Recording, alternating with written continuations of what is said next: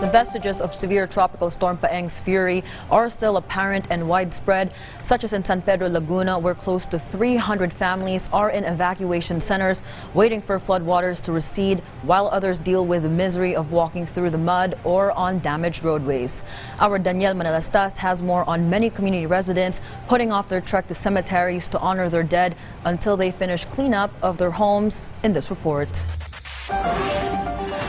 Floodwaters in a number of barangays in San Pedro, Laguna have still not receded. Just like in Barangay Landayan, where some residents also complained about the puddled and potholed road.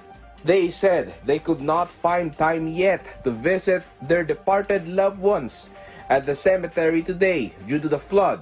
Sana po magawa na lang po ng paraan para kahit pa paano po mada- madaanan kasi marami, malaking perwisyo po eh. Wala po muna. Oho, hindi makapunta. Kasi nga, unahin na lang muna namin yung sarili namin dito. At the evacuation center, evacuees begged for medicine for their children. There was enough food and water for everyone. Hindi po namin alam kasi may tubig pa po sa bahay namin eh. According to the City Social Welfare of San Pedro, almost 300 families are still in evacuation centers. Six barangays have been affected. Marami po ang may malalaking puso na nagbibigay po at nagpupunta po, nagpapakain sa atin pong mga evacuees.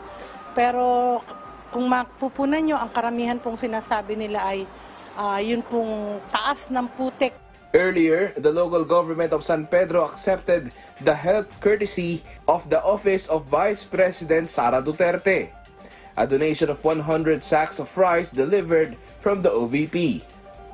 Ito pong kanyang 100 kabans na ito ay talagang sisiguraduhin po ng ating city government sa pangunguna po ni Mayor Art Mercado na makakarating, makakarating po bawat butil niyan sa mga ah, alam po natin na nangangailangan Daniel Manalastas for the Nation.